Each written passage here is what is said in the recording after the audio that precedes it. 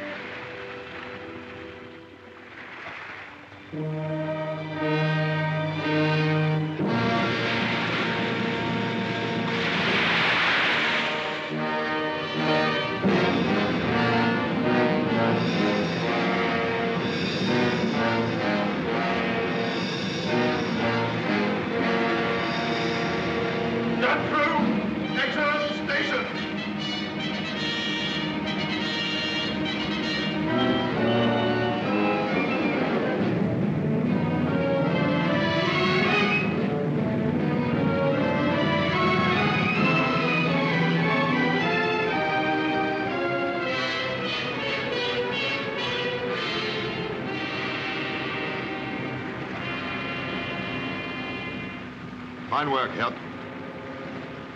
Magnificent, Herr Commandant. So the curtain rises on Canada.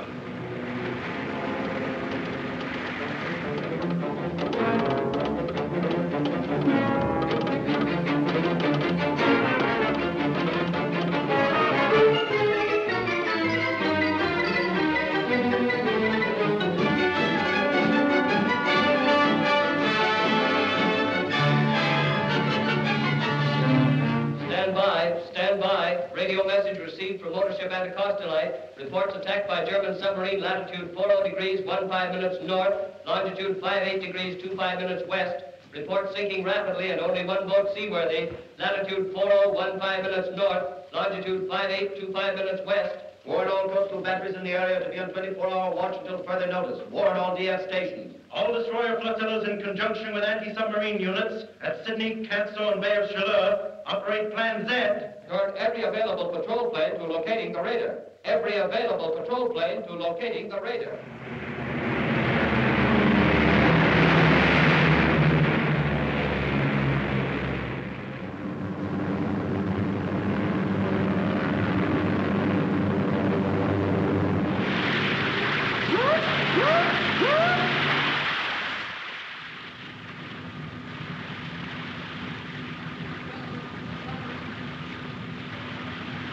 Stop motors!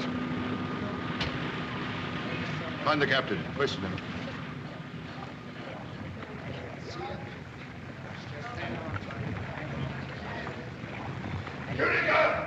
Yes, Herr Commandant. What in the devil's name are you doing? Where's your camera? You there! Come alongside! Man the gun.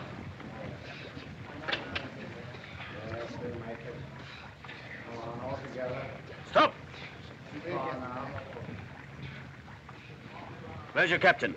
The old man's dead. He went down to the cabin to get the ship's papers. He must have got caught when she rolled. Your first officer. Jackie's dead too, isn't he? Yes. Yes. Your second officer. Here. Come on deck.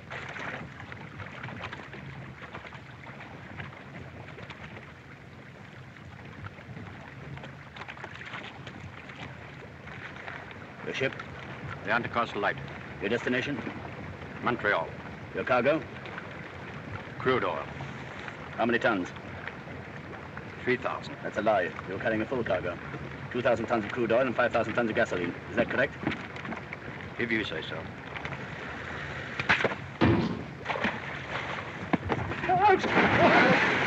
Action! Station! Prepare to dive! You dirty swine!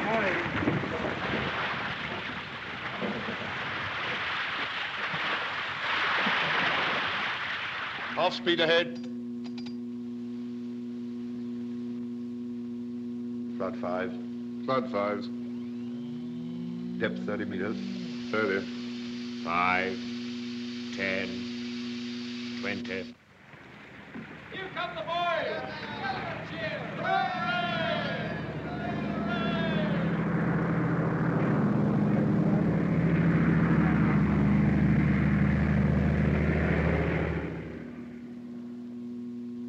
Only a fool would imagine we could raid enemy ships for supplies now.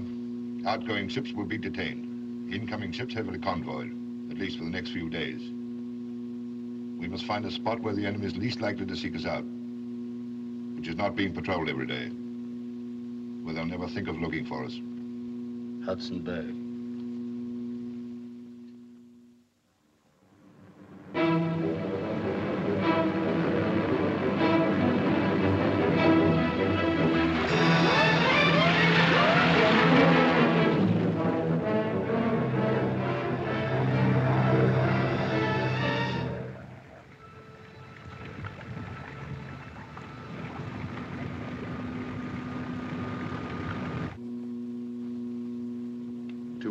Many icebergs about.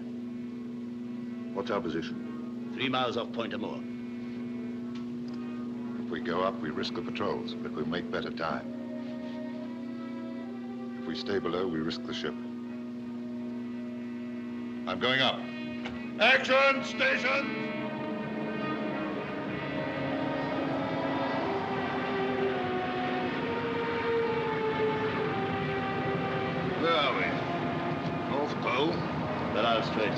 Lot of ice coming down.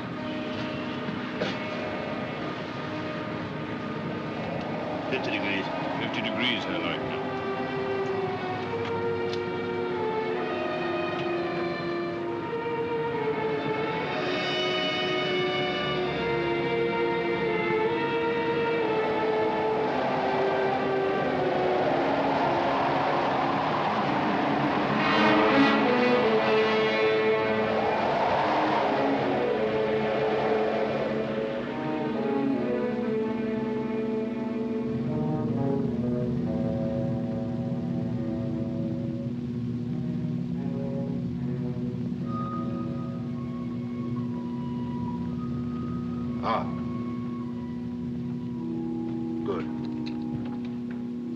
The opening dead ahead.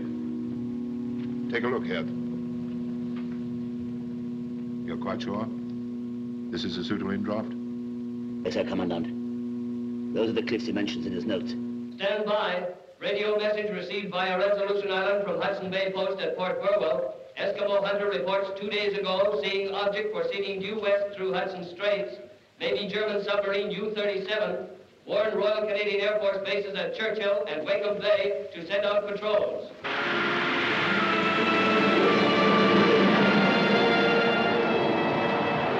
95 degrees. 95 degrees, Herr Commandant. According to my log, there should be a shelving beach at the end of the field. Will you go in? Yes. Then you can pick a landing party. Clean ship. I'll give you 12 hours. Cannon.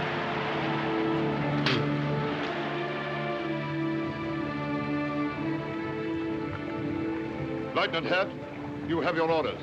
Lieutenant Kuhnecke, you are second in command. You are taking one day's rations with you, not more.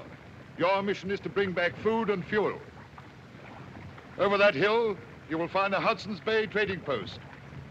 If the men there are armed and are foolish enough to offer resistance, you will destroy them.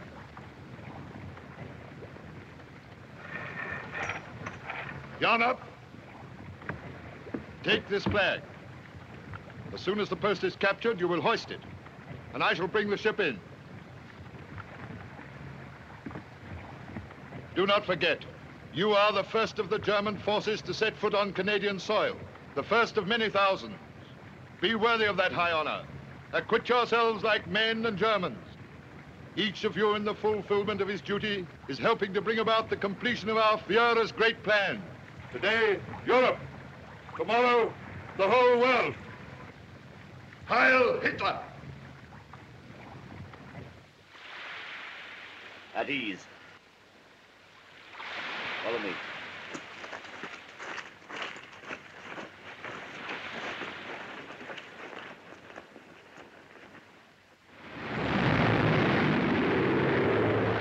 Submarine ahead, off Wolstenholme. Calling number two and three. Calling number two and three. Leader calling. Theater calling. Just spotted submarine. Going down to have a look-see. Maybe a Jerry, boys. Enemy attacking! Engine stations!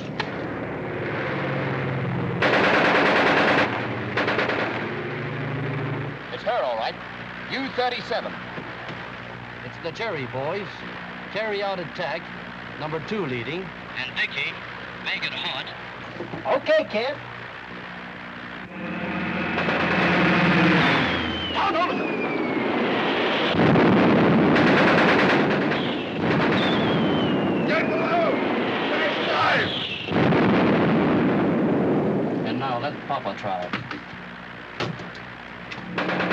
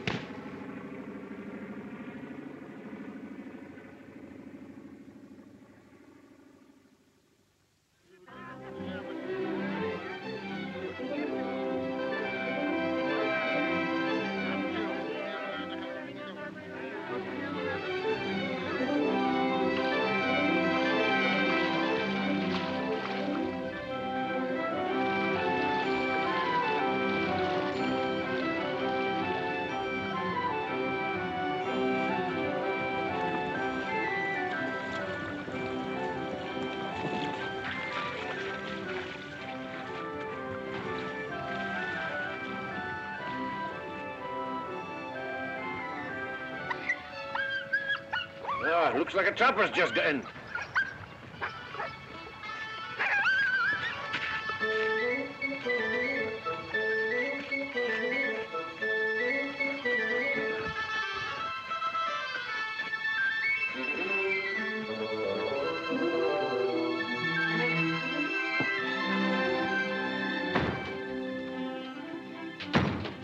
Hello, Johnny. Hey, what's going on here? Who are you? This one, boss, and this one. Just come in, Johnny. Somebody's spawned of potatoes around here. Hey, there's a year's supply in that pot. This one, boss, him no eat potatoes. One whole year, Johnny. Stop calling me Johnny. Hey, and my hot water. Who's been using my hot water, eh? This one, boss, very dirty boss. Him no take bath for one whole year, Johnny. Alouette, gentil alouette, alouette, je te plumerai, I know that voice. le bec. Quel le bec! Je te plumerai le bec, je te plumerai le bec. Et le bec! Johnny! Albert! Comment ça va, mon vieux? You old walrus! By golly, it's Danny to see you! Here, when did you get in? One half hour ago. Oh. I find the water on the stove and the dinner cooking, and I say, Johnny, you're in luck, mon vieux. Your friend Albert is a spec you. what do you think of my whiskers? She's dandy, huh? Oh, man, they're grand. Give me a scissor and your razor, quick. I oh, cut sure, Johnny. I'm hoping you're going to stay for a while this time. sure thing. I stay till the boat comes. And wait till you see my skins. I had the best year I never had. And now I'm going to get so busy doing nothing. Yes, sir, I'm going to do nothing like she's never been done before. Hello, Winnipeg. Hello, Winnipeg. This is Wolstenholme calling. Wolstenholme calling. This message to be sent on to Three Rivers, Trois-Rivières, Quebec. Trapper Johnny Barras is anxious to send a message to his father, Napoleon Barras of, uh, oh, hold on a minute. Wait a minute, wait a minute. Ah, here you are. Of the 32 Rue Crevice, and his mother, and his eight sisters and six brothers to tell him that he has arrived safely this evening at Wolstenholme Post after a successful 11 months hunting and trapping. See? He says, thanks for sending on last year's mail and the rosary. I, I- and the cake, they kept very well in its airtight tin. Aye, and he says, he says, send on another one. Go on, Winnipeg. Hudson Bay House, Winnipeg speaking. Nice work, Johnny. This is Ed speaking. Hiya! Good night, Wolstenholme. Good night. Good night, Winnipeg. Good night.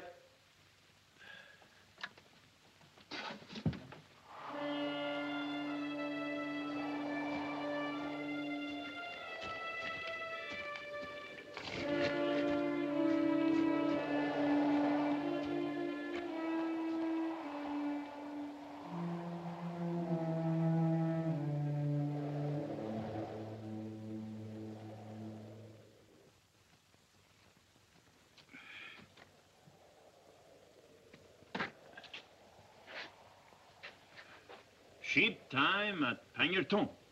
Say, where the sheep? I've been answering that question till I'm fair sick and tired of it. Not a soul comes to this post that doesn't ask it, huskers and all. Where's the ship, boss? Where's the ship? Eh bien alors, where is she? Behind the hill. Ah oui, bien sûr. Come on, and sit down. Well, what's the news from home? Some good, some bad. Everyone is well, that is good. Business is slow, that is bad. My father say it is because of them war rumors. But he tell me, no worry, this Hitler is only bluffing. And he said they all say there will be no war this year or next year. Catuerlo, you look to me as I go mad. Of course, I was forgetting. You can't have seen a paper in over a year. What do you mean? Has it happened then? Sure it's happened. Bigger than the last. Mon Dieu. Who fighting? Mostly everybody. Who starting first? Oh, the Germans, of course. They marched in on the Poles in September 1939. The Poles? Sure. My foi, I thought all the Poles was in Canada. No, no, Johnny. They've given Poland a terrible time. Wiped out Warsaw. And those poor refugees, you know, the women and children who tried to get away. The machine gunned them down. Ah, yes, sure. The Germans are ordinary men, same as you and me. I wouldn't do a thing like that, would you? Well, you can't tell me they do. That's all newspaper talk to try and bring us in. Uh, you're a bit late, Johnny, my lad. We are in. Canada in the war? Sure she is. Didn't you hear the bombing tonight? Bombing? Was that bombing? Sure, one of our planes went across. Maneuvering, I suppose. So Canada, she in the war. Pas possible.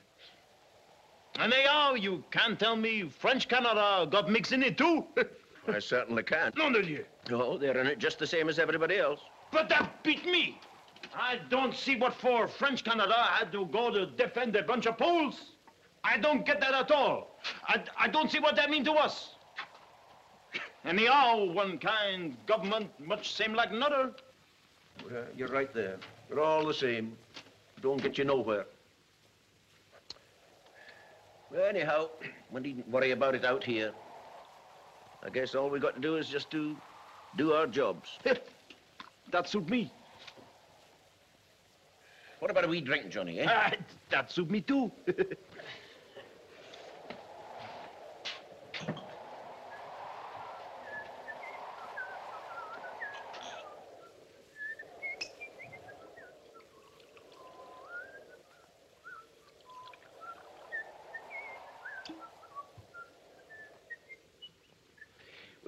A skin off your nose. And off yours too, you old walrus. I won't sleep well tonight. Never do first night in real bed. Well, just the same when I was trapping. Oh, but get used to it in a couple of nights.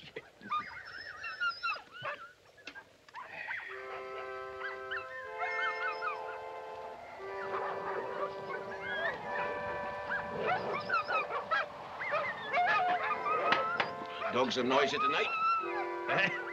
Seem like you and mine getting to know one another.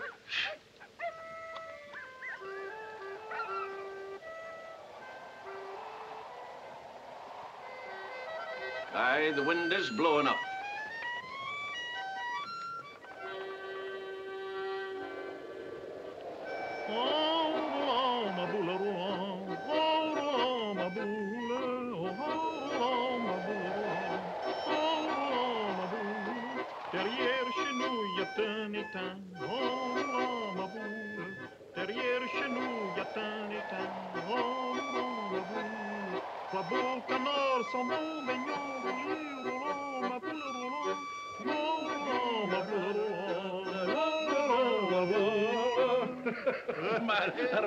Montreal concert.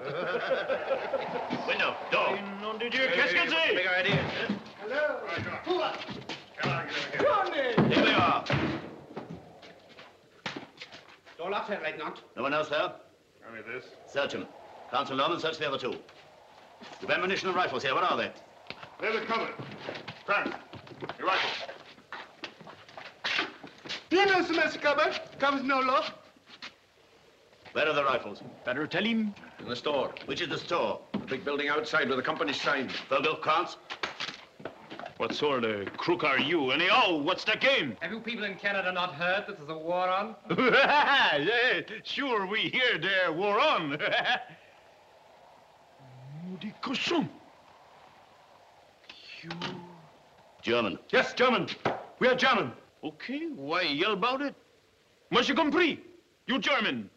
I'm Canadian. He Canadian and he Canadian. My father fight against you last time. We give you one good licking then and we do it again. Johnny!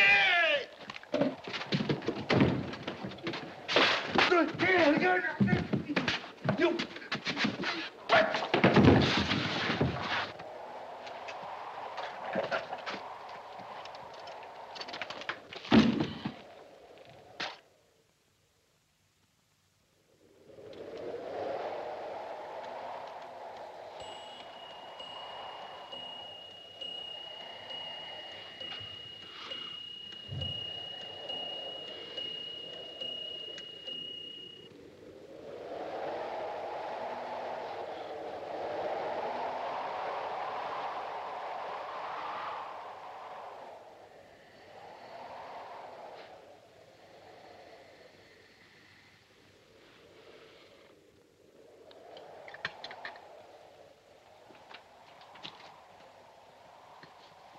Don't any you guy ever laugh?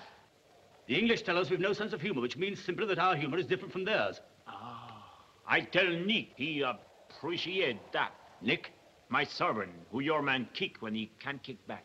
The Eskimos are racially as low as Negroes. What's the matter with Negroes? They're semi-apes, only one degree above the Jews. Who says so? Those are the Führer's own words from Mein Kampf. Voyons! I make my living trapping animal, but if I was meat half ape, I wouldn't kick him in the stomach as you did that husky in there. Please don't abuse our kindness. We're trying to be friendly, but you're making it difficult. Okay, okay, okay.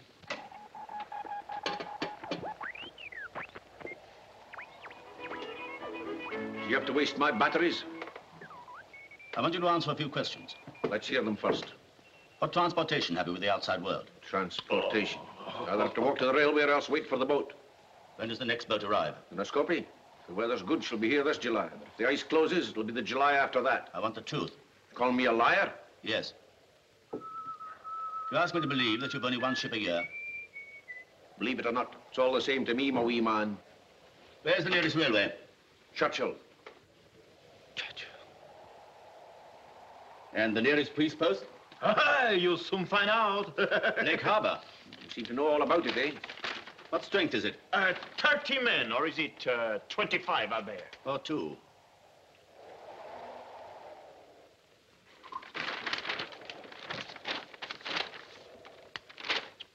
Tiens, quelle belle carte. Will you get in? Get this, Albert. How about this for a map?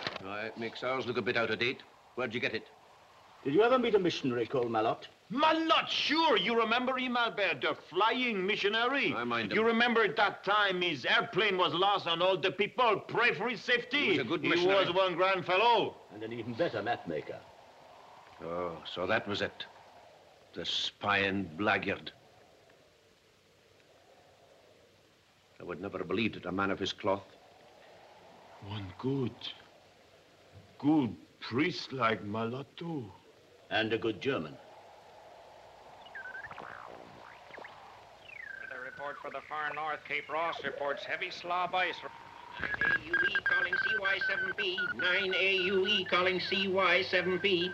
Come in, CY7B. CY7B. That's our call signal. Who is it? Oh, just a friend of mine. An American from Grand Rapids, Michigan. He plays chess with me. Chess? Sure, chess. Why? To pass the time. Ma foi, don't often get such pleasant company here. The board's over there on the table by the radio. We play three nights a week. But not tonight. It'll be the first night we've missed in nearly two years. 9AUE E calling CY7B. 9AUE CQing CY7B. Hope everything's all right. Say, what's the matter, Mac? Why don't you answer? This is Russell speaking. Try again in 15 minutes. If still missing, we'll report to Winnipeg. If still missing, we'll report to Winnipeg. Standing by. What is he going to report? Oh, that an accident might have happened to me. We've got to do something about it. Why Winnipeg? It's the head office of our company, What company? the Hudson's Bay Company. Yes.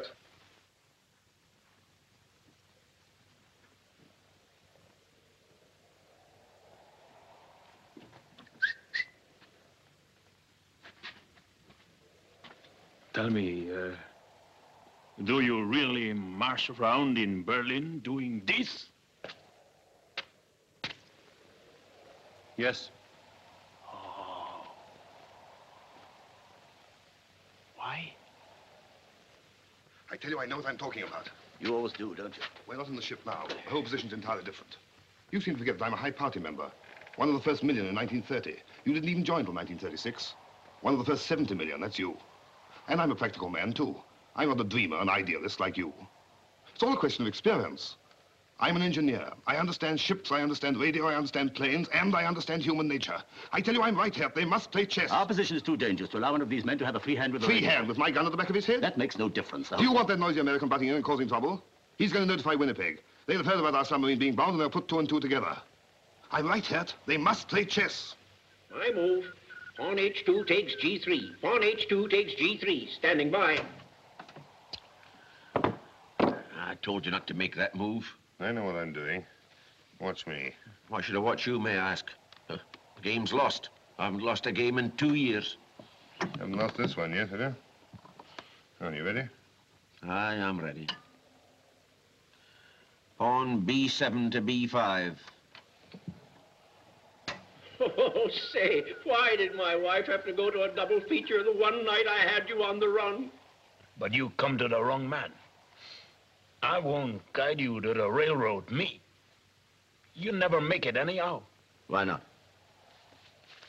This is one big country with very few people. Everyone know everybody. You can't make a goose step through it without the police find out. But no one has seen us. Ah. You. Écoute.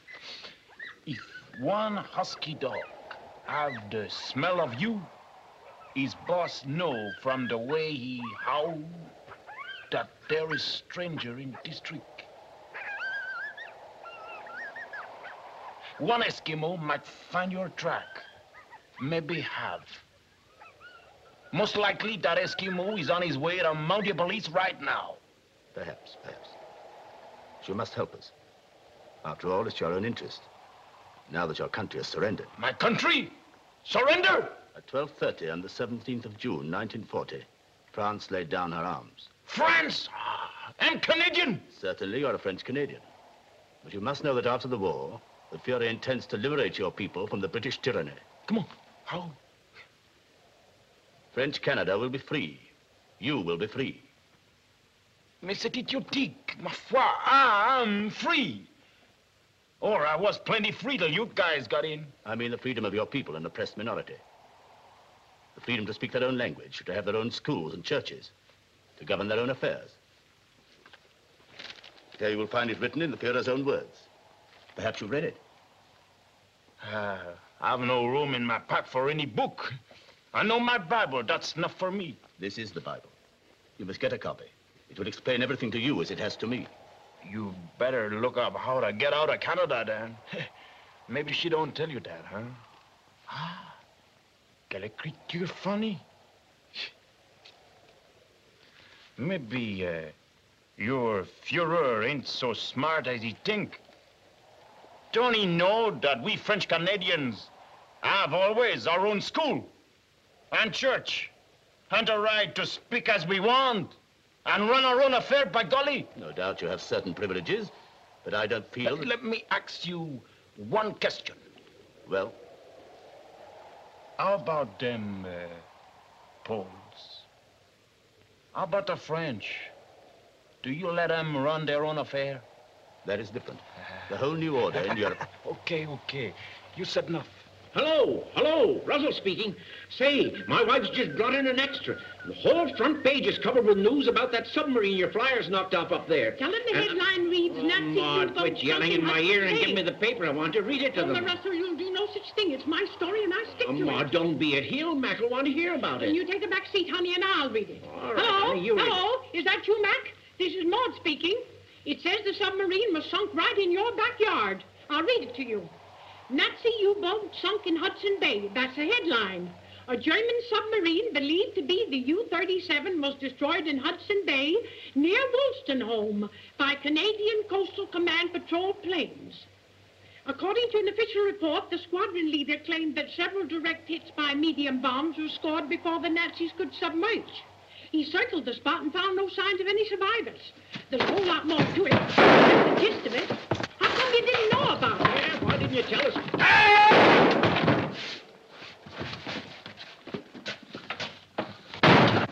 Get your rifles. Start.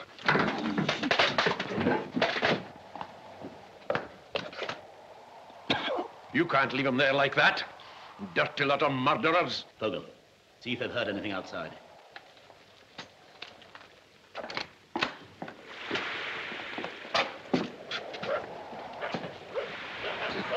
Killers. That's all you are. Killers. All quiet here, Lieutenant. Good. Can't have heard the shot.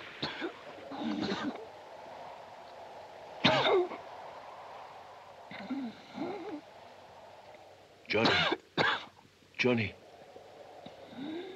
Johnny, my son. It's nearly one. It'll three, four hours before there's anybody about. If anybody should come to the post, we'll see they don't get away. Kranz, Lohrmann, Get into the other room. What about the radio? Dead. I wonder if that American in Michigan got anything. Idiot!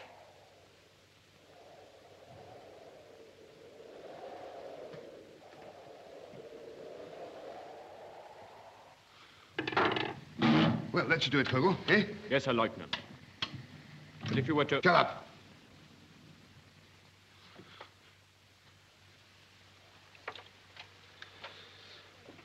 Can you hear anything, Herr Leutnant? Shut up, can't you?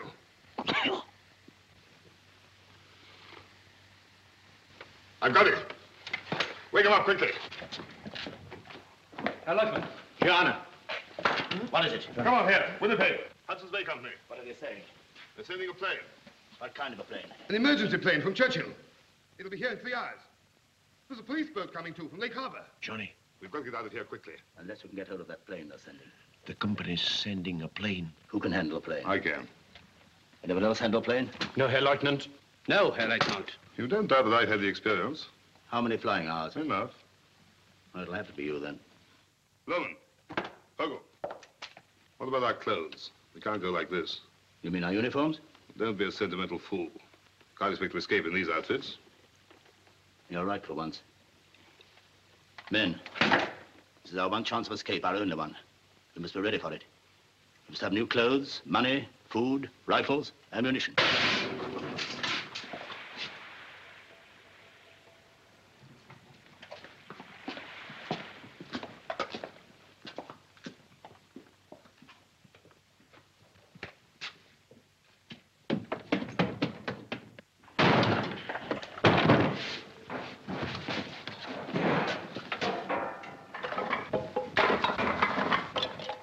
Where do you keep the money? There none. Don't lie to me. You'll sell things here. Not for money, it's exchange, barter. Plenty of coats, Herr Leutnant.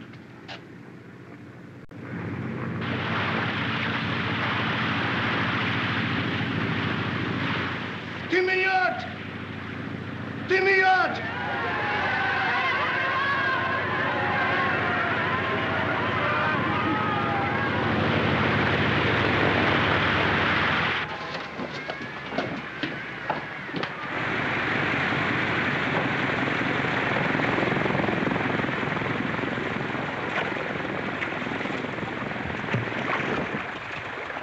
What's the trouble at the post? What's happened to the factor? Nothing happened at the post. My son go to white man yesterday, no come back yet. Anybody else at the post? Trapper Johnny, stay one day. Auction eye! Auction eye!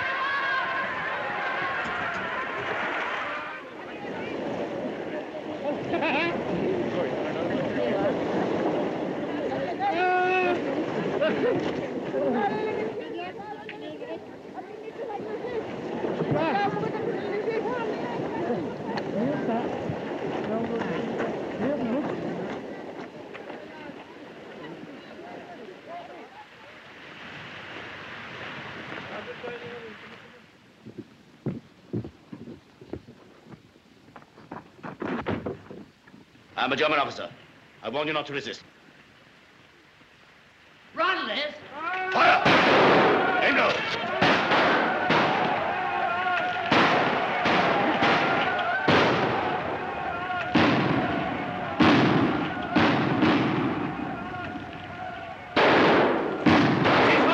One stand guard. Critical Norman, get the boats ready. Jahner. Vogel, report to me and ready.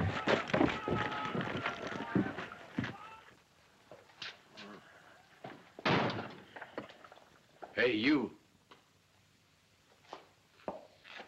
Give him some water. It's behind me. You're a Christian, aren't you? No, I'm not.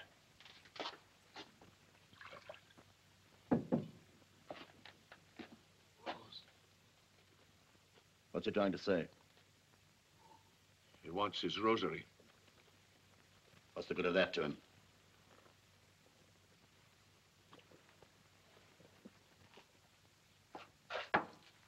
When? When we win the war.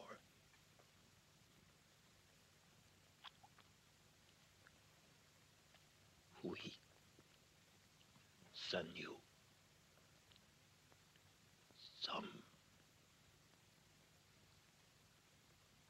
missionary.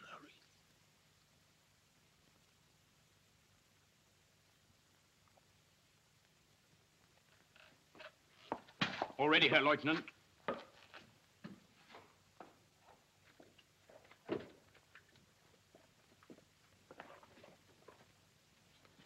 Thanks, laddie.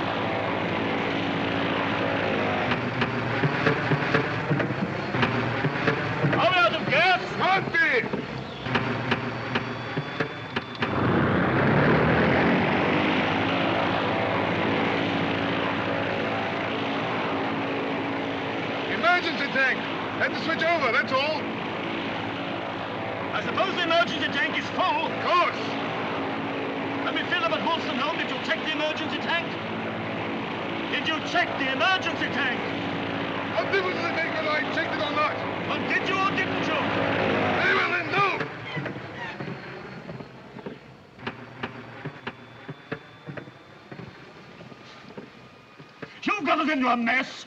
Don't shout at me. I'm trying to take control. We'll make a false landing. if Forced landing must be the virtuous for 200 kilometers from the border. But I can't think of everything, can I? I can't help it if I make a mistake sometimes. Anyway, you're supposed to be in command. Why don't you handle the thing yourself? I wish I could. We're gonna crash. What should we do? Nothing. Hang on. What should we do? There's a danger ahead! All right, I'm not blind. Parachute! Down! We'll never make it! Can you lift it on the boat? Leave me alone, can't you? Any orders, Herr Lieutenant? No, save yourself if you can!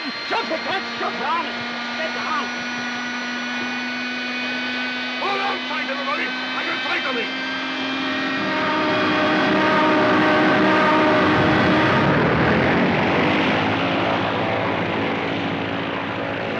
Liver? Liver?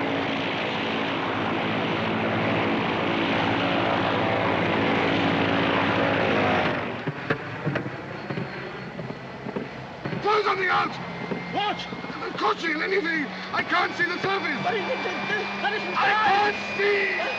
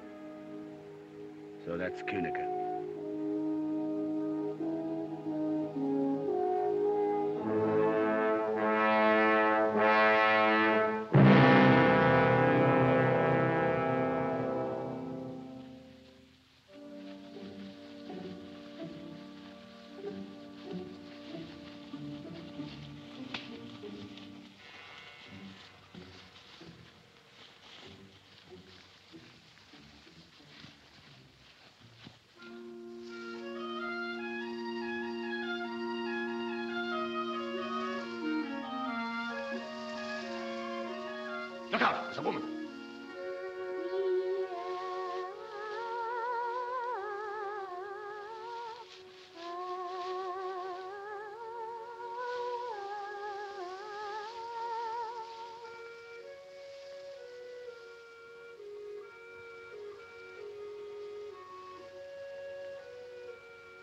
German.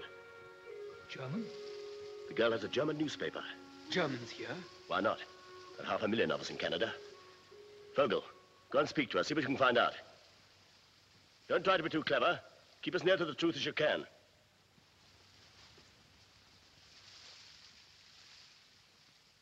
Hello. Hello. That's a good-looking scarecrow. Hmm. Why, you're only a kid. I thought you were much older than that get-up. I'm 16. Are you looking for work? Yes. How did you know? You don't look like a hobo. Reaping started? Just begun. Are you on your own? Oh, those.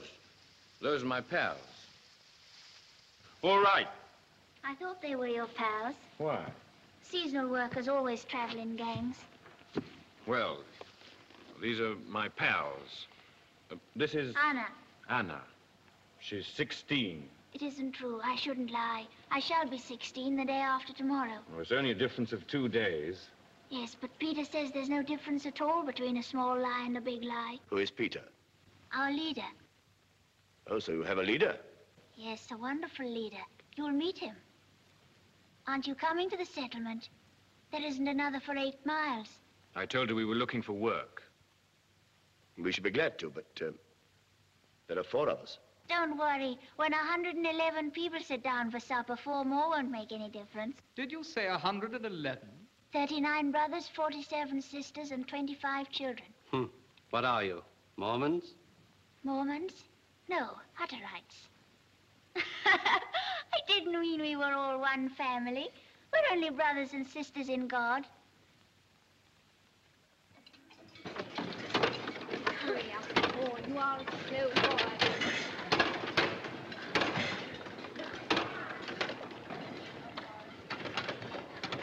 Anna, more bread for our guests.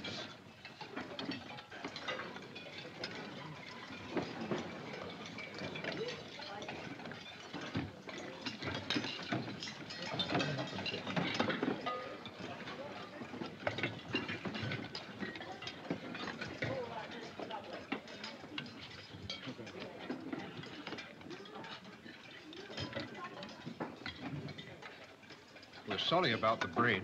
Hmm. I know a bit about baking. I Don't mind my saying so. He was getting a new baker. We had a good one, but he went to Small Springs. Bit of pay? Pay? Oh, no, no one gets paid here. Does Anyone get paid anything? No. Oh, what do you work for then? Just your keep? No, for us all. Look, all these people work for nothing. Yes. What sort of work? Whatever suits them best. Well, what do you mean? They don't choose themselves, do they? Haven't you got a leader of the community? Yes, there he is, over there. Where? Which is your leader? There. Third from the right.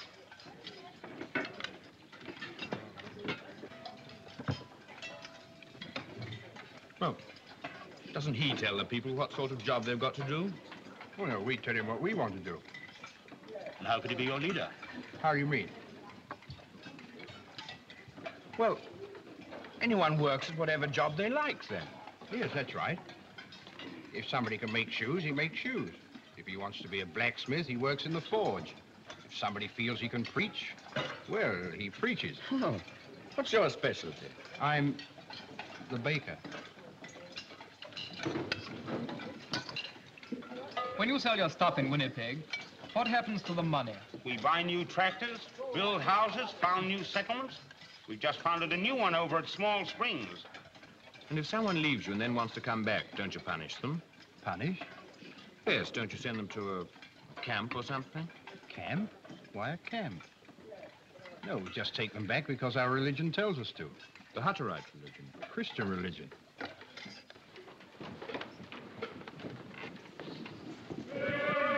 Is it one of your rules to sing like this? We haven't any rules. We sing because we like to. It's good for the digestion. Well, good night. The leader will look after you. Thank you. What's the salute? The what? Don't you give the leader a salute?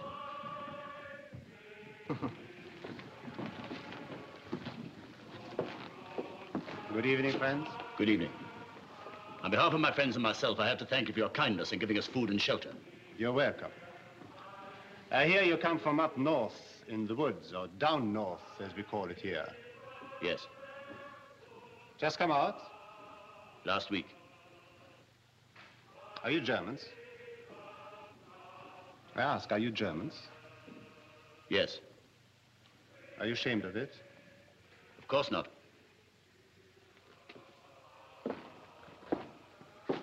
I'll show you where to sleep. Thank you.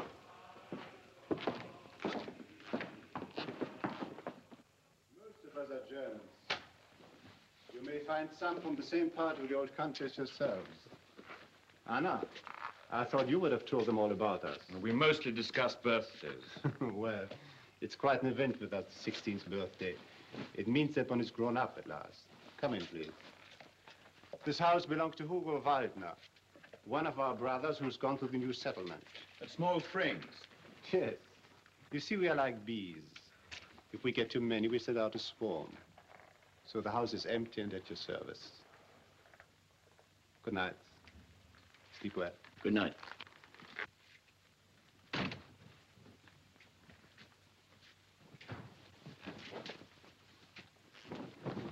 Hmm. That's what I call a busy girl. That's nothing. I make 14 beds every night. That's a lot of work. You see, we have a lot of men who have no mothers and who aren't married yet. So somebody has to make their beds. Quite right. Two of you can sleep in here, and there are two more beds in the other room. Where do you sleep? In Peter's house. In Peter's house. But I don't make the bed for him, Poor Peter. Why not? because he has a mother to look after him. Haven't you a mother? No. She was drowned Drowned.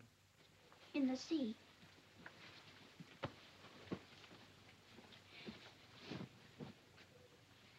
When we left Germany, we went to England because we had to wait until we got a permit to come to Canada. We got our permit after war was declared. Was your father with you? Wait a minute. I want to hear about her mother. Her ship was sunk. Torpedoed? I think so. Don't you know?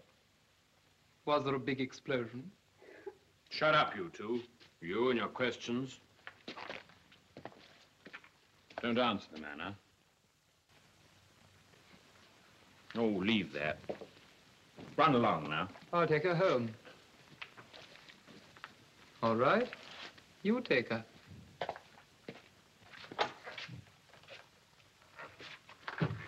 Good night, Anna. Good night. Chins up. Remember then, do nothing without orders. Discipline is more important now than ever. So far, luck has been with us. It's a great stroke of fortune being here at all. Do you think they're friendly, Herr Lieutenant? Friendly? Yes. But you saw how their leader tried to draw us out. Are you Germans? Are you ashamed of being Germans? That in a country with which we're at war. There can only be one answer to that. Our agents have done their work well. Yes, this religion may be nothing but a cover. I bet they sing the hospital song better than hymns. We shall see that tomorrow. Heil Hitler. Heil Hitler. Shut the door.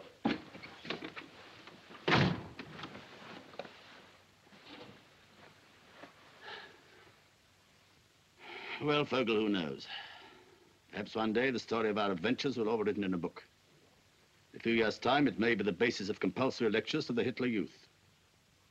The ships we sank with women and children aboard. The lifeboats we shelled.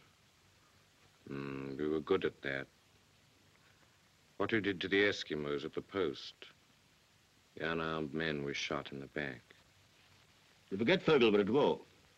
You can't expect to win without the methods of total warfare. Men, women, and children, they're all our enemies and must be treated as such. Did you never read what Bismarck said? Leave them only their eyes to weep with. Leave them only their eyes to weep with. Did he say that? Those were his actual words in the War of 1870. You should study Bismarck. He was a great German. A great German. You know, Vogel, I'm worried about you. You're a good fellow, but you don't discipline yourself. You give way to emotions. That'll land you in trouble one of these days. Why don't you take an example from Kranz? A fine, soldierly fellow. You could be just as good a Nazi as he is if you tried. Are you listening, Vogel? Yes, Herr Leutnant. Then think it over. Yes, Herr Leutnant. And get out of bed and turn out the light. Yes, Herr Leutnant.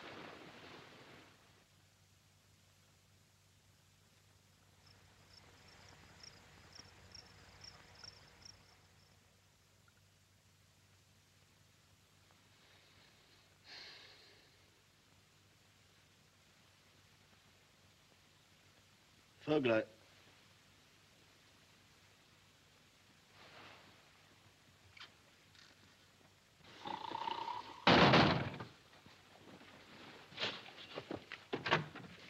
Herr Leutnant? Either of you seen Vogel? No, Herr Leutnant. Well, get dressed at once.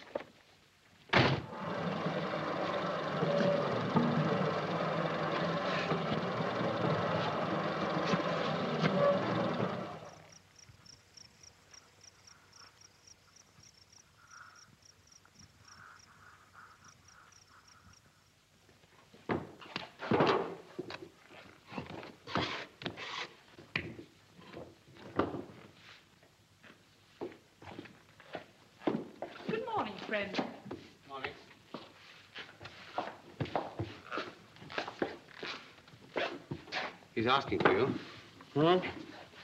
All right. Well, aren't you going? I can't go till I got this lot ready. What shall I tell him? Oh, I'll be along in a minute.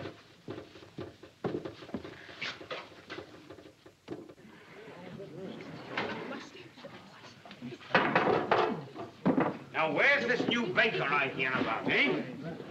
Ah. Now, that's what I call break. You'll have to teach David the trick. Trick or no trick, I could never make bread as good as that. Well, cheer up, David. It took me seven years. Why ever did you want to give it up? I didn't want to give it up. I had to. You see, we all had. Peter, just come and look at this bread. Good morning, friend. Mr. Vogel is the best baker we've had here in 15 years. I can't imagine why his last boss let him go. Must have been crazy. It wasn't then, he is now. Congratulations, Vogel. It was a good idea.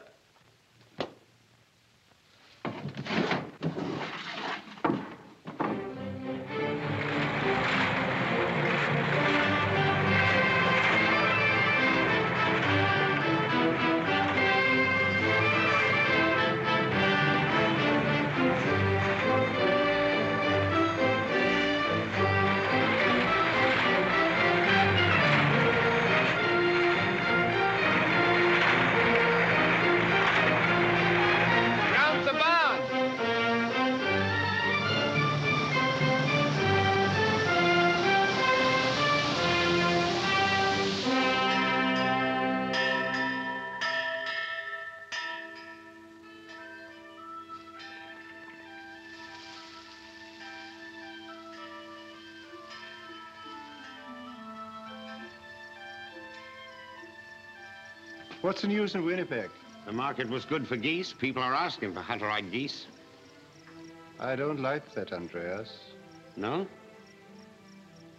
For 300 years, our brethren have wandered from place to place, from country to country, because of the jealousy of others. This is a good country, Andreas. I met Frau Habermann. Yes? Oh, her trial was on today, wasn't it? Her husband and her eldest son, Erich, are to be interned. She's free. Bad luck. Just at harvest time. Wasn't a good day for the trial. Papers are full of stories about those Germans who landed from a U-boat down north. They seem to have acted like wild beasts, killing and stealing. What's Frau Habermann going to do? I had a talk with her.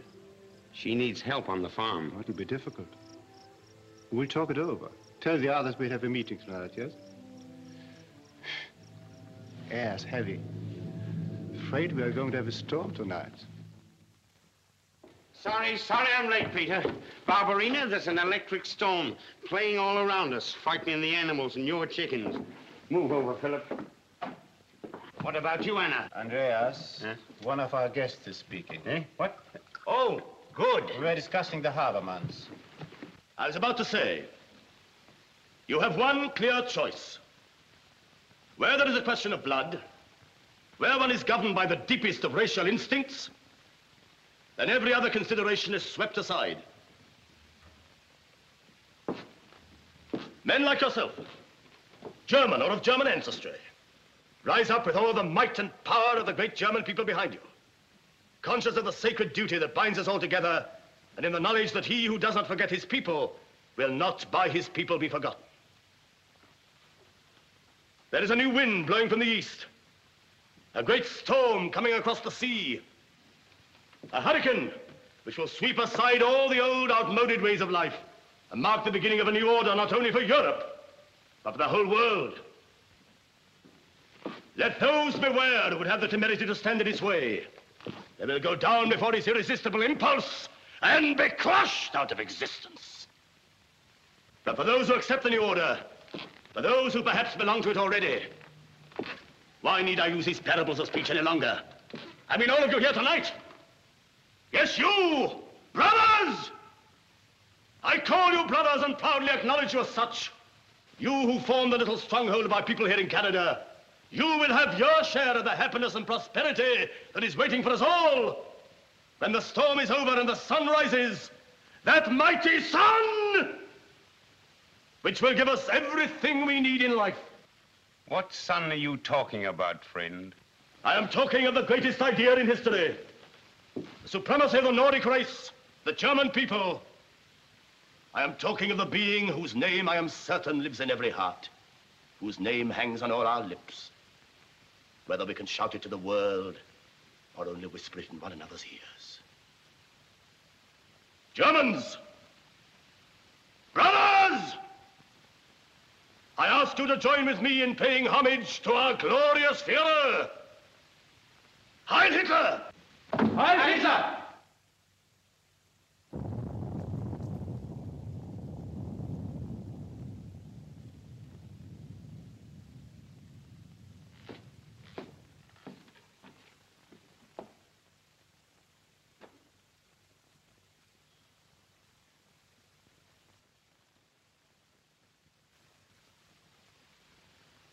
I don't ask where you come from or what brought you here. Although you've left us in no doubt as to your beliefs. Someone has given you, no doubt deliberately, a completely false impression of us. We are only one amongst many foreign settlements in Canada. There are thousands of them in this part of the world. And they've been founded some recently, some 80 years ago, by people who left their homes in Europe because of famine, because of starvation, because of racial and political persecution, and some, like ourselves, because of their faith. Some came only to find new land, new boundaries, a new world. But all have found here in Canada the security, peace and tolerance and understanding which in Europe it is your furious pride to have stamped out. You call us Germans. You call us brothers. Yes, most of us are Germans. Our names are German, our tongue is German, our old handwritten books are in German scripts. But we are not your brothers. Our German is dead. However hard this may be for some of us older people, it's a blessing for our children. Our children grow up against new backgrounds, new horizons. And they are free. Free to grow up as children. Free to run and to laugh without being forced into uniforms, without being forced to march up and down the streets singing battle songs. You talk about a new order in Europe. The new order. Where there will not be one corner, not a hole big enough for a mouse, where a decent man can breathe freely. You think we hate you, but we don't. It is against our faith to hate. We only hate the power of evil which is spreading over the world. You and your Hitlerism are like the microbes of some filthy disease, filled with a longing to multiply yourselves until you destroy everything healthy in the world.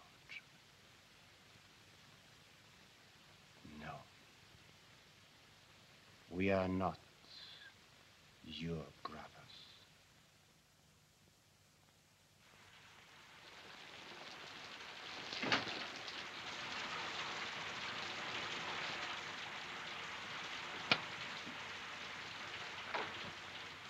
What do you want?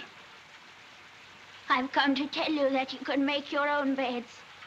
I don't want to work for you. That's all right, Anna. Run along now. You're Nazis, aren't you? Aren't you? We're not allowed to hate anybody. But I hate you. I believe you escaped from an internment camp. I should tell the police about you.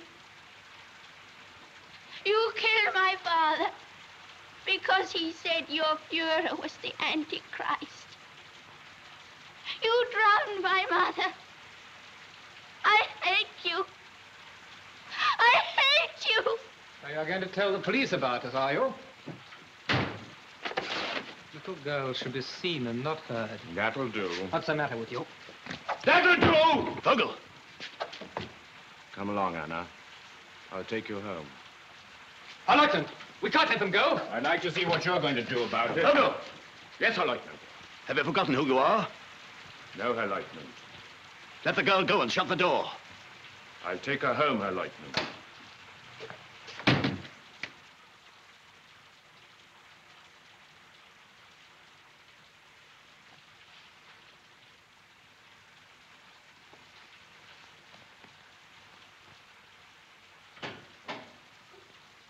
That you, Anna?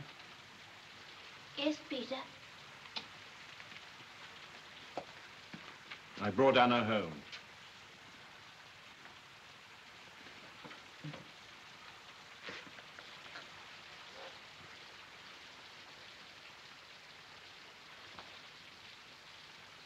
She's all right.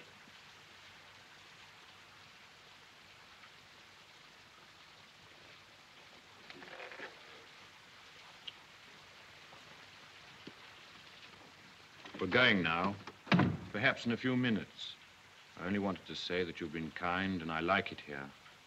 You like my bread and I like the way you live. Being with you's made me feel like it used to be at home. I'd almost forgotten what it was like. Baking bread, doing my real work. That's how it used to be seven years ago before everything changed. The life I've been living seems to have no sense in it now. Well, I'd better go now. Please don't go.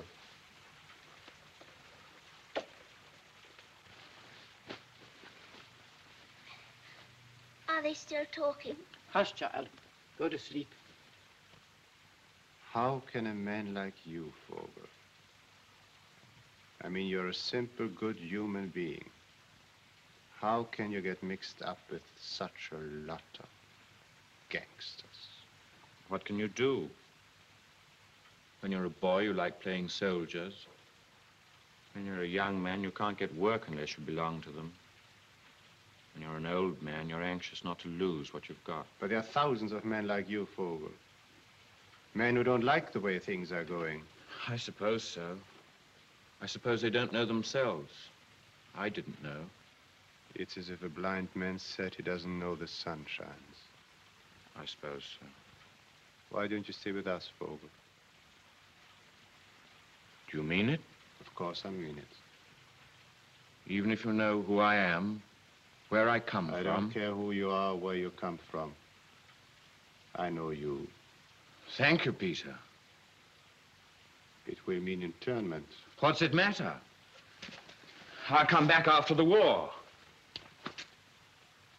This is your home.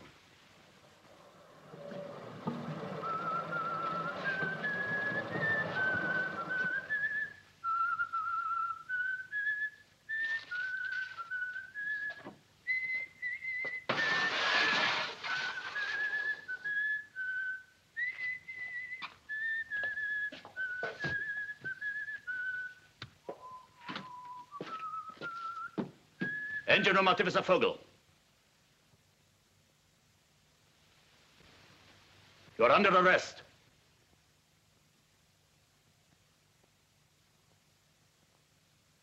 You're accused of desertion and treachery to the Third Reich. In the absence of a properly constituted court, I assume authority as your superior officer and sentence you to death. Have you anything to say?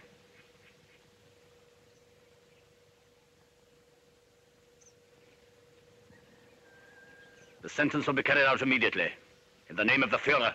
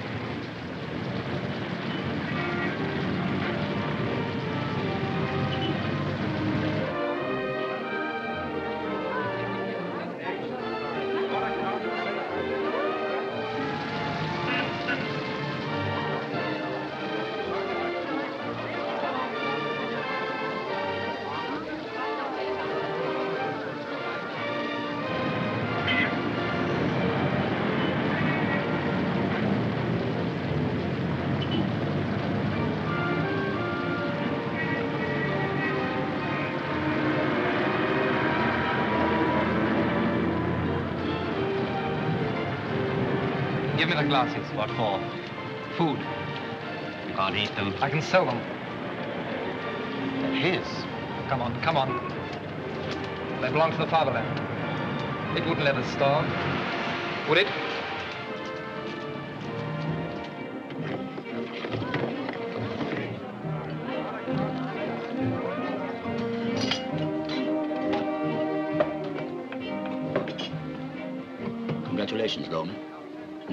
No has ever had a better end. We shall view the future better through these.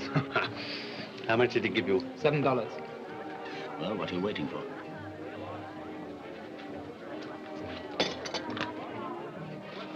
That's all the bulletin said. They're watching the border. But they don't know there are only three of us. They still think they're five. Police aren't fools. They'll find out soon enough. If we're caught, it won't matter whether there are three or five or ten of us. We're going to change our plans. We're going to Vancouver. Vancouver? The Japanese ship leaves Vancouver in a month's time. Is it far to Vancouver? About 2,000 kilometers. We can never get as far as that. The Fuhrer has never admitted the word can't. Neither should we. Our one consideration must be how to get to, Ham sandwich, sir. how to get home. Doesn't matter how we do it, but we will get home. That's how he works. He says that it's Germany's destiny to rule Europe. Doesn't matter how she achieves that destiny, but she will achieve it. He gave me this. These Canadians give everything away. The road west is plain enough. Follow the river Assiniboine for 50 miles. Do we start in our head later? No. I will sleep tonight in the railway station. Tomorrow we'll catch a bus outside the city limits, then walk. You wanted us to fly to Vancouver. Said it'd save a lot of time. what did you say, Herr Leutnant? I said with plenty of time. 2,000 kilometers is plenty of kilometers.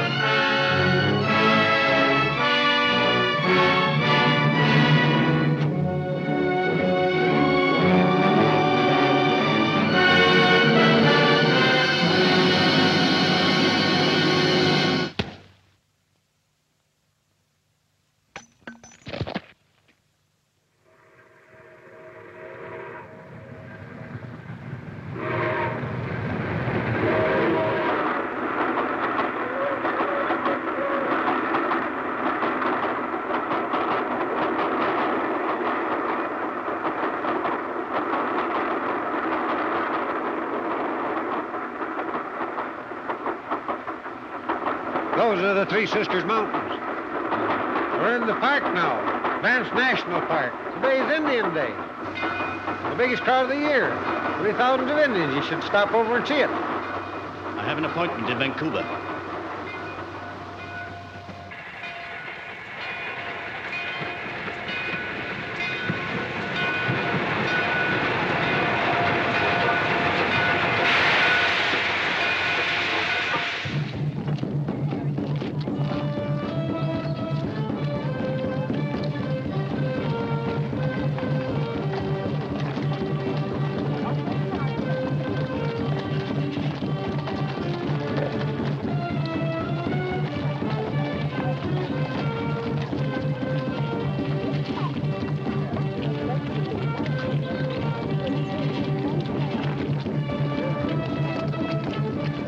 You say these three men were here? Well, they were right here.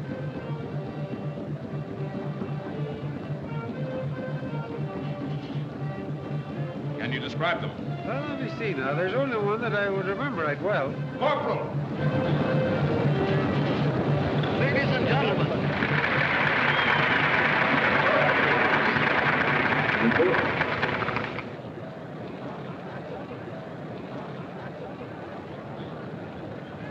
Norman, I'm going to use your mic to talk to the crowd.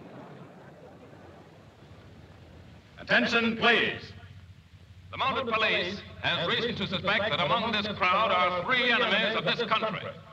They are not ordinary aliens escaped from Kananaskis internment camp. They are survivors from a German submarine, the notorious U-37, which was sunk in Hudson Bay by our Air Force.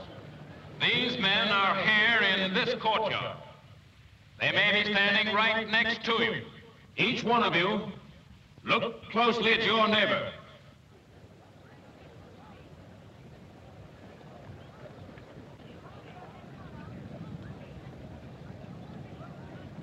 These are descriptions of the three men. One who appears to be the leader is a well-built man of medium height. He has very definite features, a commanding manner, is clean-shaven, brown hair.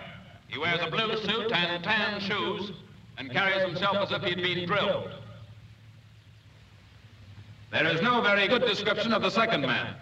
He is thin and inconspicuous in his manner. He wears a suit of some light color and a hat tilted over his eyes. He may be carrying a bulky rucksack. The third man is short and dark. He wears no hat. He has a tweed jacket and a bow tie. He carries a parcel wrapped in oilcloth and tied with thick string. He is described as being nervous in his manner. I must ask all of you to stay exactly where you are and not talk or move. All of you as citizens can help to bring these men to justice. Each one of you look closely at your neighbor. Remember, each one of these men has every reason to be afraid. They have already been responsible for the death of 11 defenseless people sooner or later their nerves will crack. Look closely at your neighbor.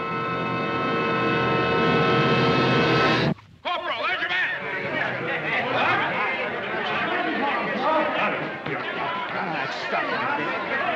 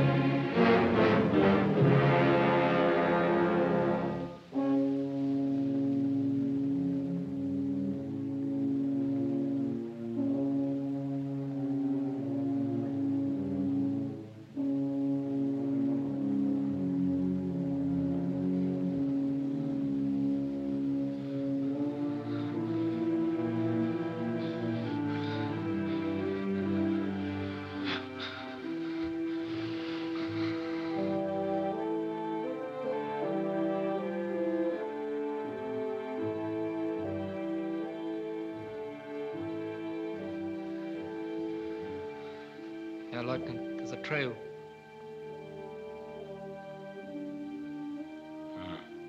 Come on, then.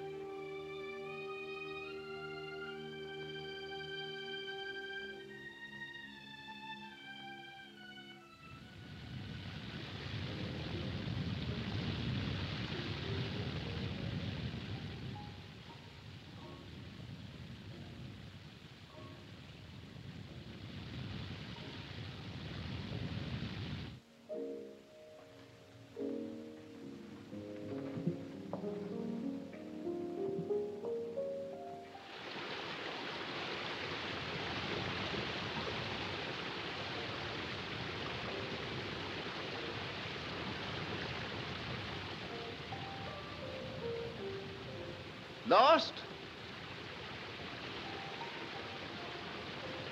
Yes. It's a difficult trail on foot in those outfits. You walked in from the lodge, I suppose.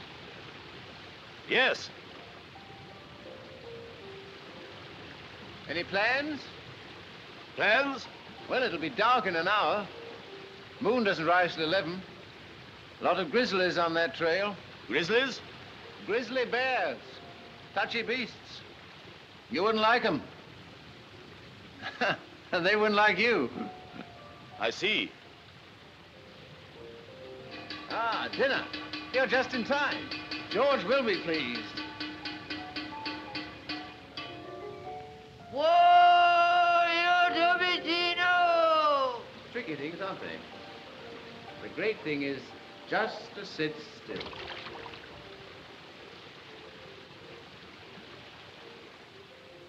On holiday here? Yes, on holiday. How do you find the lodge? They used to do you a very good lobster thermidor with the red Bordeaux. They still do you the lobster, but no more red Bordeaux. A nuisance, isn't it? Huh? The war. uh, Anyhow, up here in the Rockies, the war seems so remote one can't take it so seriously. Of course, one knows one half of humanity is trying to wipe out the other half, but up here among the mountains and the spruce forests, one sees it in perspective, so that it, it seems almost unimportant.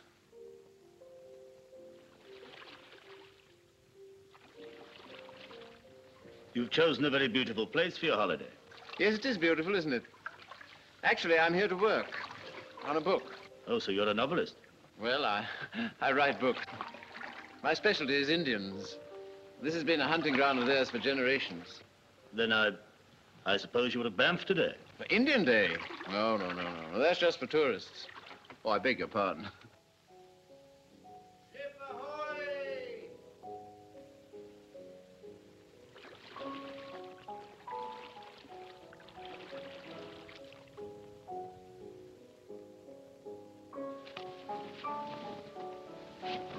Well, gentlemen, welcome to my humble teepee.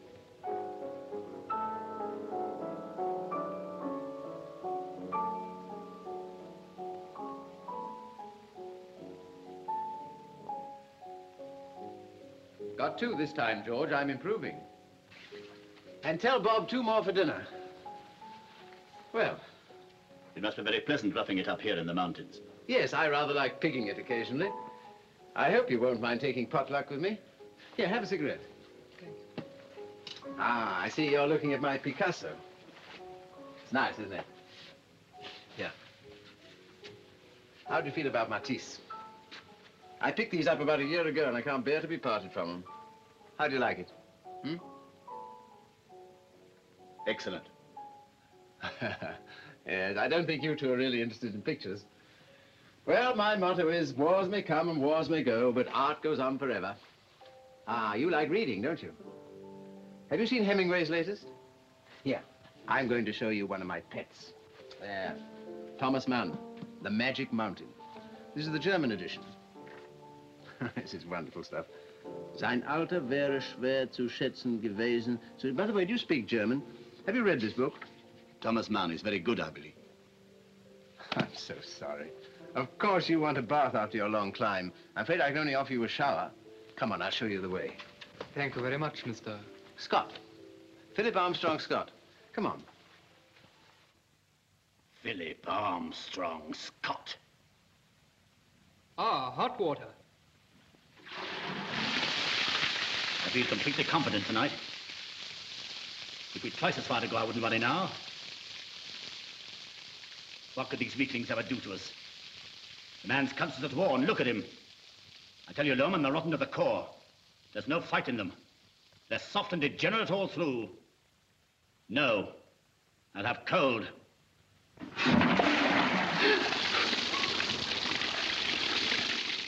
George, the fire's smoking.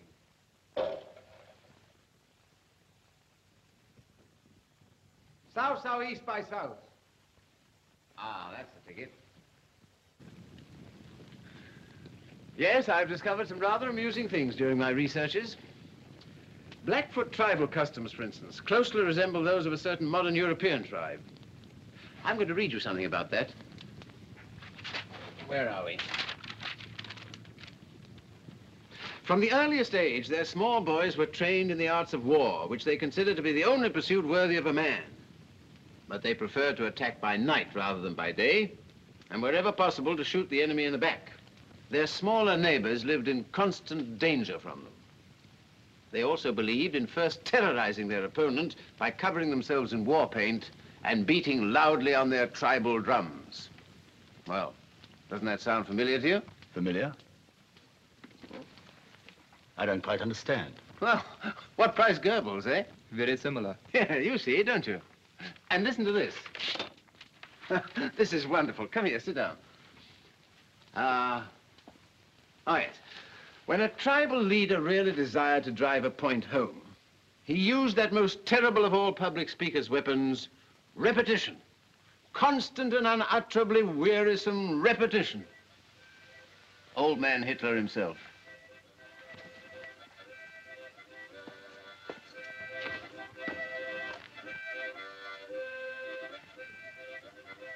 What's wrong? I think he found it a little warm in here. I'm so sorry. Well, rather stuffy in there, eh? A little. Lovely night, isn't it? Moon's just out. We're not the only ones up, I see. the men, eh? When did they go to bed? Oh, pretty early as a rule. They please themselves. You must be rather tired yourself. How about a nightcap before you turn in? Thank you. Here. Ah. Interested?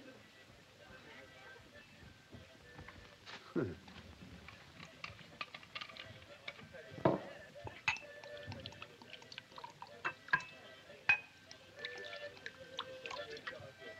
A drink.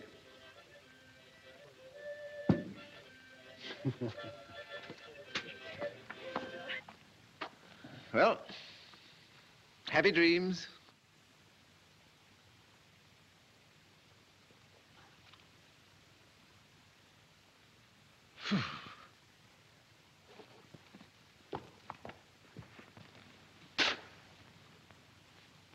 Okay.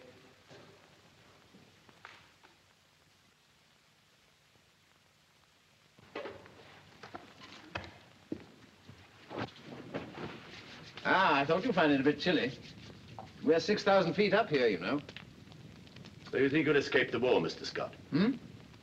That's not a very nice way of putting it. But you'll do your best to escape it. Do you mean I'm... I wonder if I am. I don't think I'm a coward. I've never really been in any great danger. I don't exactly know how I'd behave. I can imagine how you'd behave. I beg your pardon? I said I can imagine how you'd behave. Well, you are an extraordinary fellow. You're certainly frank. So you despise my mode of life, eh? Well, I'm getting some revelations tonight. Maybe it'll do me good. Maybe I'm becoming a little smug. I imagined you'd been thinking, here's a nice, decent sort of chap. Invites me to dinner when he doesn't even know me. Amiable. Full of interesting conversation. And instead of that, you think I'm... Well, go on. What do you think I am? This ought to be enlightening. If you were a real man, you'd have struck me across the face when I suggested you were a coward. Instead of which, you talk about it. Well, why not? I may write about the customs of Red Indians 200 years ago, but I don't have to behave like one. After all, we've been given reasoning powers and the gift of speech. Why don't we use them instead of hitting each other? Come on, have a cigarette.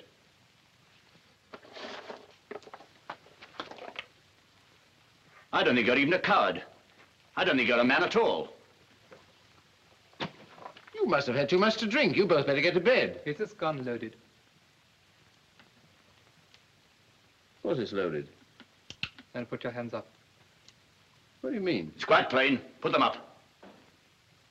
Well, well, well, this is a new experience. So I've been entertaining gangsters. Well, what do you want? Money or what? You don't believe it, Choo-Choo, do you? Such a thing couldn't happen to Mr. Philip Armstrong Scott. Anything unpleasant must be kept as far away as possible. As far as the war, 5,000 miles away. Suppose I were to tell you that the war is right here in this tent. I don't suppose you've heard of the U-boat that was sunk in Hudson Bay and the six Germans who escaped. So that's who you are. Nazis. Well, that explains everything. Your arrogance, your stupidity, your bad manners. Get over there by your books!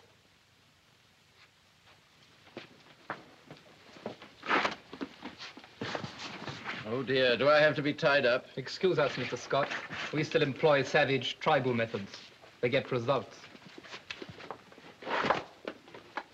The best thing that's happened to us is meeting you. You put the heart back into us. Only two of us now. Two out of six brave men. There are millions like us in Germany. Any more of your sort here, you don't stand a chance of winning this war. We'll see to that. Get them clothes out of there. They won't suit you. Not much there, I'm afraid. Thirty-three dollars. Do I get a receipt? There's only one suit here. You better have the overcoat. Interesting. So far, I don't feel the least afraid. No sign of trembling. Pulse appears to be quite steady. Mouth a bit dry, perhaps. Here. Rifles.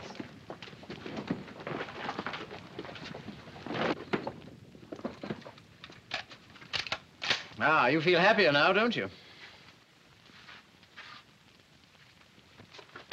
Look out! Wars may come and wars may go, but art goes on forever, eh?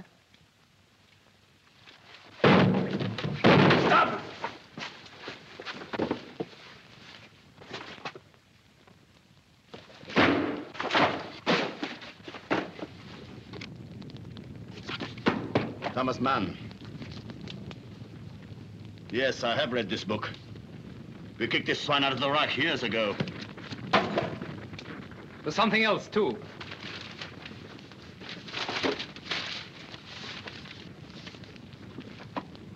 Blackfoot tribal customs. Think yourself lucky we don't burn you, too. Well, I never would have believed that grown-up men could behave like spiteful little schoolboys.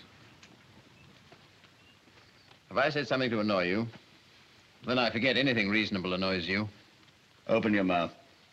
One question, please.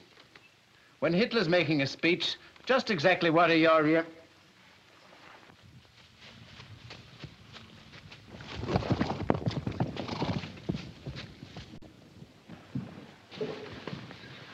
Damn them horses. Stampeded again. Maybe they got wind or something. Maybe bad. There they go.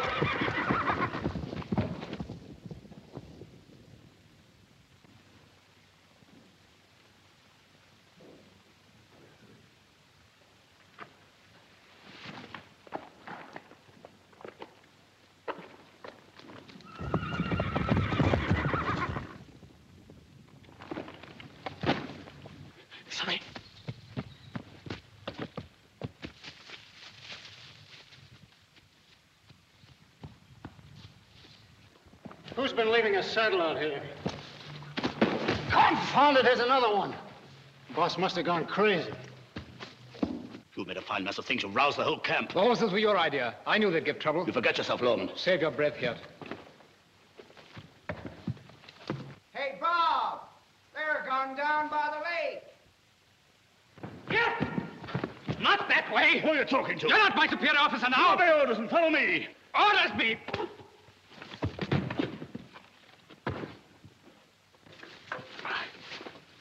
Come on, George. Art!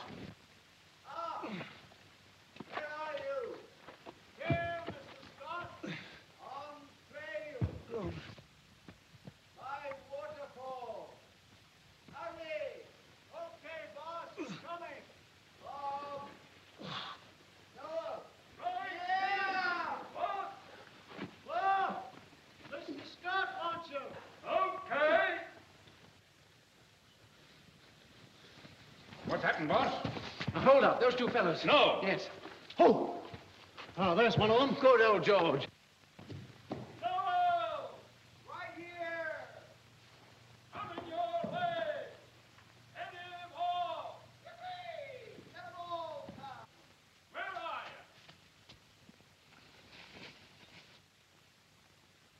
Looks like he's lost it. Confound it.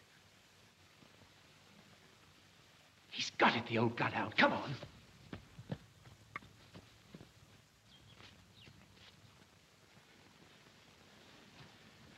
Where is he, George? In the cave? Oh. Well, what are we waiting for? Let's get him. Which one of them two is it, boss? I don't know. Did you see George? Scott. All right, boss. I forgot to tell you, Art. He's got my coat, too. See that hole? That's going to cost him seven bucks before I let the Mounties get him. That means he's got four shots left. All right, Bob, I'll take over now. Okay, boss, but I don't Hey, think you ought to let me stay any... with you, Mr. Scott. The papers say these men are killers. Yes, the Canadian papers. The Nazi papers call them heroes. Two brave Nazis against 11 million Canadians. Say, Mr. Scott. Mr. Scott! Stop him. One.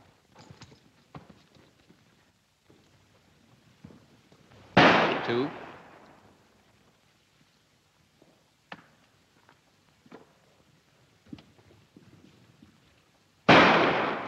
Three.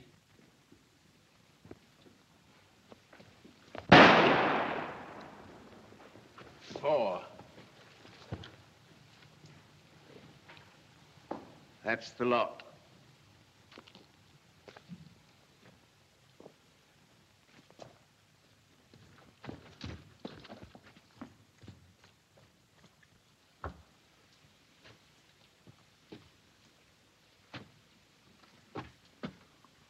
Oh, it's you. I hoped it was the other fellow.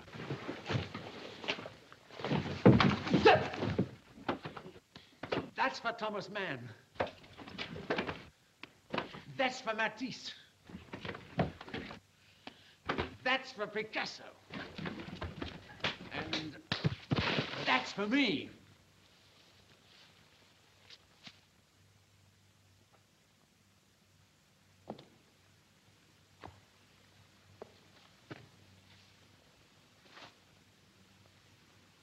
All right, you can fetch him out now.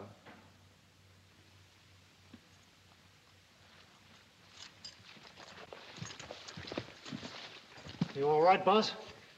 Well, you can't expect me to capture an armed Nazi without getting hurt a little. Yet.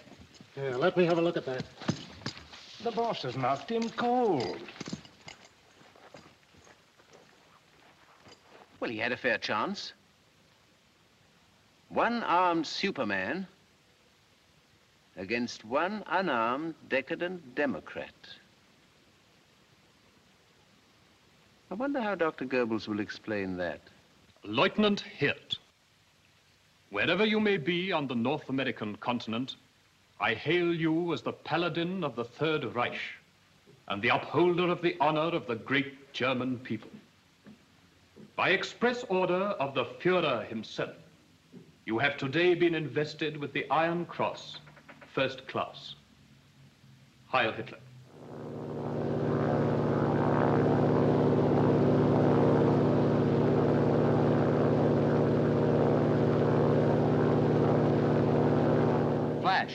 Lethbridge, Alberta. Mounted police pick up trail of escaping Nazi. At Lethbridge Airport's Kenyon Field, It's been established that a man resembling the wanted man, Lieutenant Hirth, planed in yesterday on trip 22 from Edmonton and Calgary. The hearts of all sympathizers with the German cause go out to Lieutenant Hirth, one man against 11 million. They know that even now the odds are not too heavy when the one man represents the might of the Third Reich and the 11 million a collapsing democracy. 48 hours have elapsed, and still Lieutenant Ernst Hirth, the only surviving Nazi from the U-37, is at large. The whole world's eyes are on southern Ontario. The question of the hour is, where is Hirth?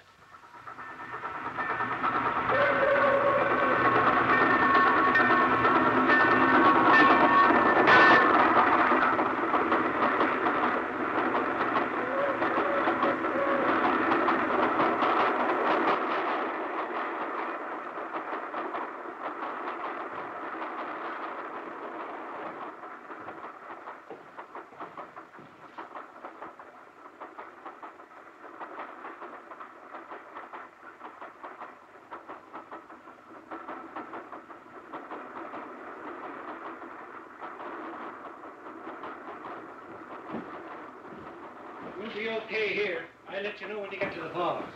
Much obliged. Say, what's your name? Oh, forget it. I haven't seen you and you haven't seen me.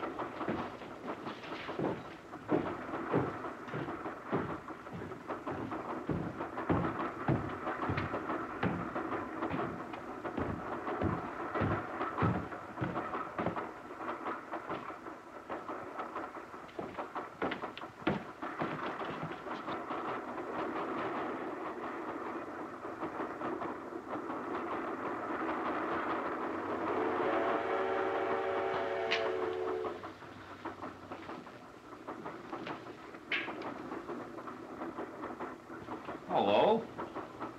You bumming a ride? Yes. You needn't be afraid of me. I won't split on you. I'm not afraid. Looks like you got a nice private car. Have a cigarette.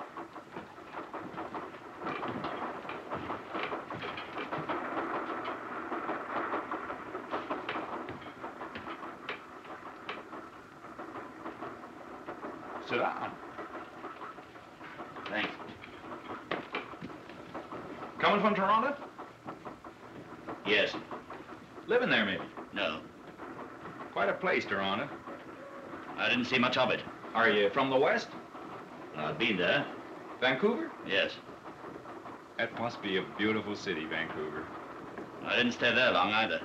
You don't stay long anywhere, do you? Hmm, I traveled about a good deal. Travel about. That's a lot of fun. When I was a kid, I had the big idea to see the whole of Canada. But things don't work out the way you think. I save a bit of money, and what do I do? Put it in my pocket and start off down the road, my own boss, with the whole of Canada in front of me? Not on your life. I buy a bit of land up Beamsville way, and that keeps me so busy, that's about all the Canada I see. Have a shot of Ontario wine. Catawba. I send the grapes to the winery from my own farm.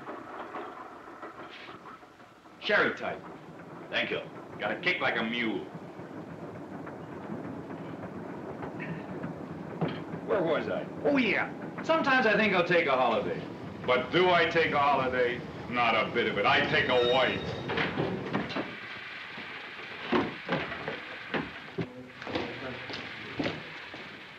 Say, were there any MPs around while you've been here? MPs? Military police. Are you in trouble with the police? Oh, not exactly what you'd call trouble. I just don't want to meet them, that's all.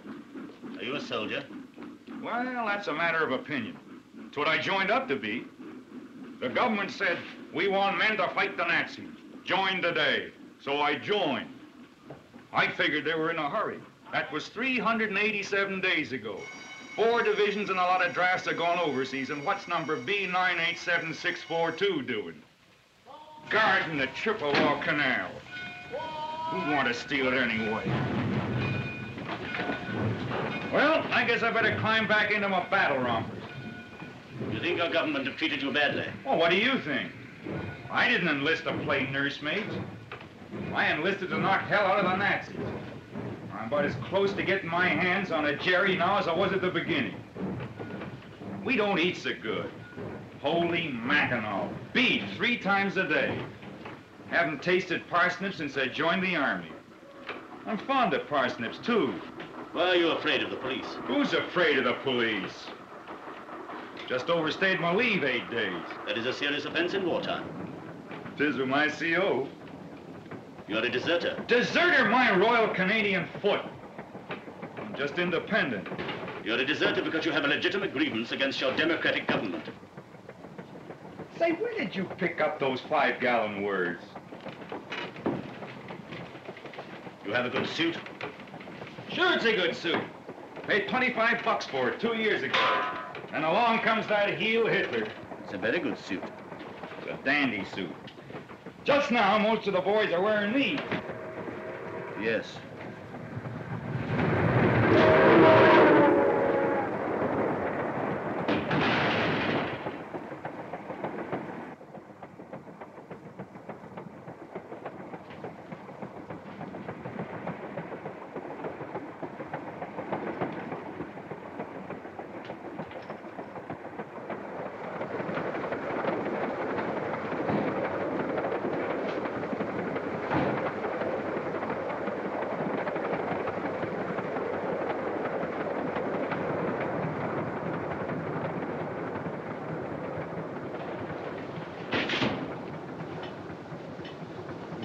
Well, I'm son of a... Stand up. Put your hands up. Stand over there.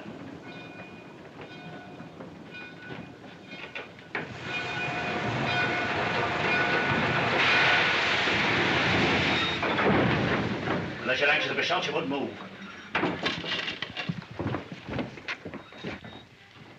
Perfectly ready to kill you or anyone else. Yeah, I can see, uh... 14 grams of carbide. Don't move. 14 grams. Who's moving? Nine cans germicide. Okay. We'll get everything checked, all right? Okay. Seal her up.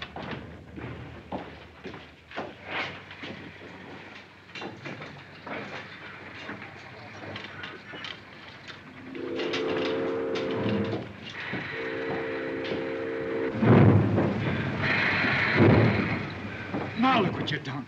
I am a deserter now. What do you mean? They're taking us clear out of the country. Out of the country? Into the States. We're crossing the border now. Into America. Heil Hitler. Dirty Nazi. Yes, I'm a Nazi. Heil Hitler. One of them off the U-boat. Quite right, my friend. In two minutes, I shall be across the border. Once there were six of us. Now I represent them all. Field Marshal Goering has said, it doesn't matter as long as we have only one plane and one man left, so long as victory is ours. You hear that?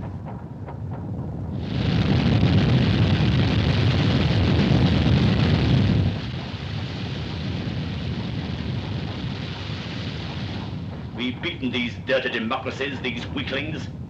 I tell you, we've something inside us. Something beyond the dim, muddy minds of you in the democracies. What do you know of the glorious mystical ties of blood and race that unite me with every German Aryan? When I step on American soil, I shall not be alone. Adolf Hitler and all the great German people will go with me. It's not the Canadian people we're against. It's your filthy government, the whole democratic system. You don't like it any more than I do. You don't like the job they've given you. You don't like the food. You said so yourself. Why, You you spoon-fed louse. I can grouse about the food and the CO and anything I blame please. And that's more than you with your Gestapo and your stormtroopers and your Aryan bourgeois. Ah, nuts. What's the good of talking to you? You can't even begin to understand democracy. We own the right to be fed up with anything we damn please and say so out loud when we feel like it. And when things go wrong, we can take it. We can dish it out, too.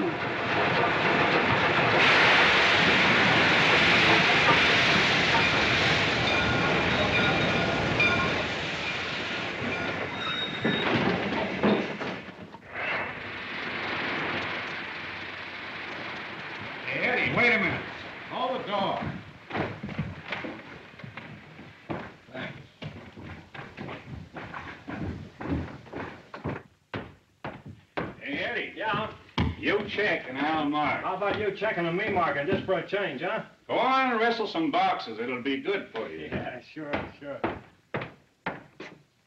Hey. Lady Godiva. Who are you two? I'm well, Andrew. Brock, Canadian Active Service Force. You're looking, and you? We're on American territory? Yes. I am Ernst Hirth, a German citizen. I demand to be taken to the nearest German consul. Don't do it. Send him back. He's an escaping Nazi. He slugged me. That's my uniform. Hey, this gun is loaded. No. By an American law, you must take me to my consul. Is that right? I'm afraid it is. He's one of that gang off the German submarine, the U-37. On the level? I am Lieutenant Hirth of the German Navy and also a German citizen. And I demand... You've got to send him back. He's not just an escaping Nazi. He's important. The whole German nation is waiting to see if he can get away with it. I know. I read the papers. Hey, couldn't we sort of, you know? You mean? Yeah. No. By your own law, you must take me to my consul. Well, sometimes I think we got too many laws. Don't let him pull that law stuff. You know better than that, soldier. I'm a customs inspector. This is for the immigration department. My job's inspecting and checking on freights and imports. Listen, Captain, what would you do if he were an illegal shipment of cheese? Return him. But he's a human being. At least he's a Nazi. He's not on the manifest, is he? What? I said he's not on the manifest. No. No. No, he's not. The American law... Oh, shut up. I know the law. It says imports are not admissible unless properly manifested. I find two items not listed. How do you check? Same way, two unlisted items. But your law refers to freight, not to persons. This is a freight car, and your freight. Tell the engineer to return this car. Okay. Phone those Canucks and tell them it's coming with two items missing from the manifest. Tell them to either list them or take them off. Check. Thanks, Colonel. Thanks a million. We've all got to do our duty, soldier. Now send your gun back to the Mounties. Okay. I don't need it. But I protest. You cannot do this. It's illegal. Sonny boy, I've done it. Hello, Macaulay. It's Eddie speaking. We're sending back car number 8772. Gee, you guys are getting careless. There's two items not in the manifest. Now, either list them or take them off.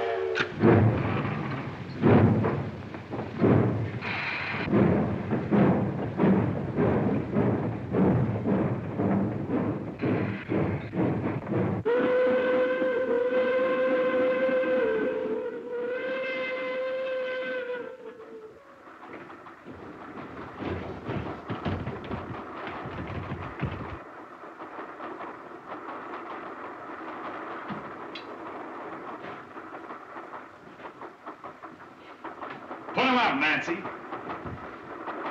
No, not that way. This way. Because I'm not asking for those pants. I'm just taking them.